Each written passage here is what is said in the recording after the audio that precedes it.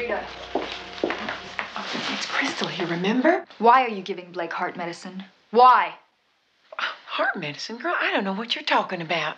I just came from a laboratory. I had the contents of that bottle you dropped analyzed. There'd been heart medicine in it. Now, what's going on? Nothing. Now, for God's sake, will you stop this? I'm stopping nothing until you tell me the truth, damn it.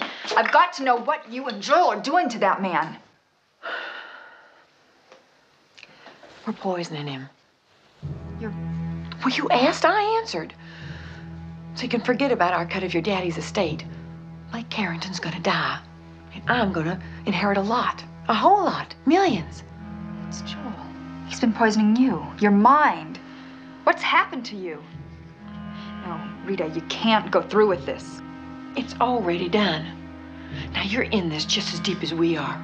So you better keep your mouth shut, you hear? Because if you don't, we'll all of us go to jail.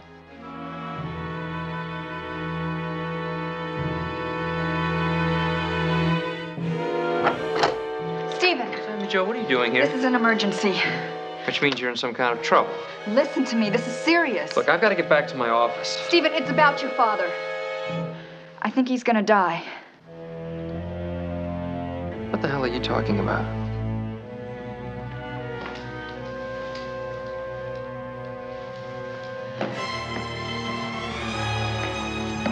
Blake, you shouldn't be out of bed.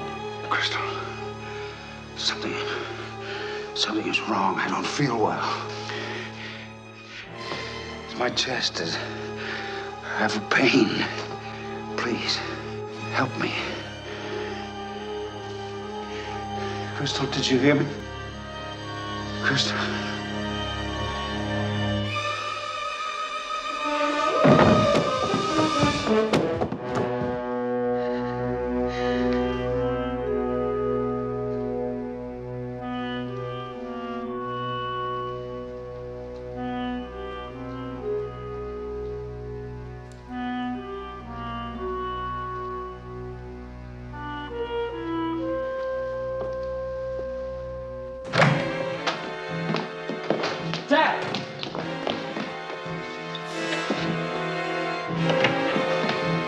Dear God! Gerard, call an ambulance. Yes, sir, right away.